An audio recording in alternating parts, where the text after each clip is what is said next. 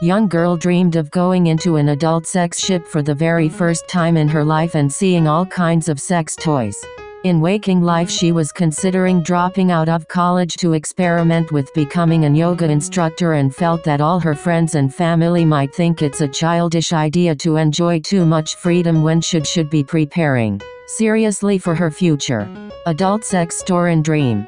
To dream of an adult sex store represents feelings about considering making a choice that feels good for you, but maybe seem inappropriate or childish to others. Uncomfortable feelings about enjoying too much freedom.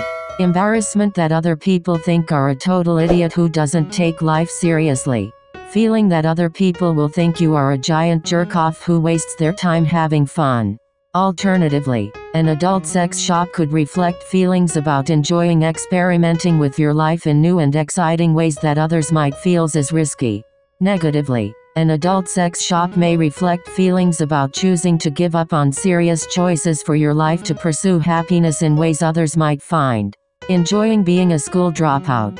Preferring to enjoy life as a simple person with no desire to conform to society's norms.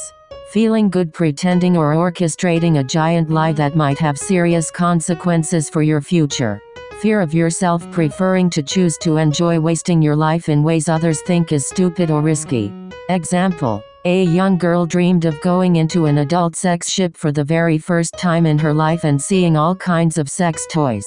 In waking life she was considering dropping out of college to experiment with becoming an yoga instructor and felt that all her friends and family might think it's a childish idea to enjoy too much freedom when should should be preparing seriously for her future.